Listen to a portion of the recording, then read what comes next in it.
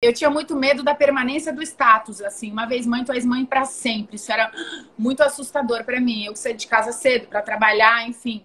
E aí eu tinha medo de me arrepender. Ai, umas loucuras assim.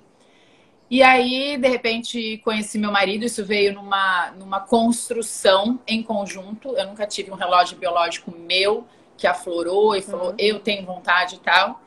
E aí, quando de repente aconteceu, cara, é muito mágico, assim, é muito além. Mas eu acho muito legítimo, entendo muito as mulheres que escolhem não experimentar isso na vida, assim, é muito legítimo.